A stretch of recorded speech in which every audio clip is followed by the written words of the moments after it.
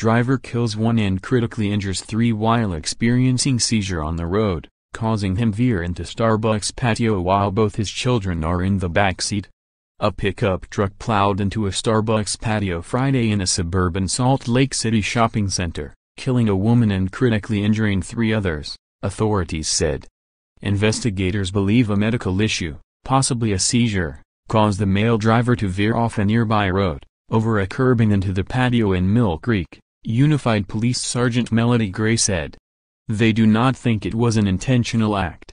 A group of three people sitting on the patio were struck by the truck that also smashed through a pillar and rolled over. The patio was about 100 feet from the road, Gray said. Jocelyn Nicole Spilsbury, 48, of Salt Lake City was killed, Gray said. The driver and two of the people from the patio were in critical condition. The driver's two small children who were inside the truck and sustained minor injuries.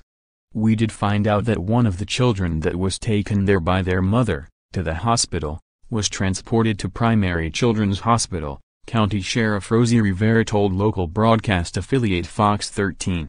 The driver, was conscious, he could speak when he left, but we didn't talk to him because he needed medical care.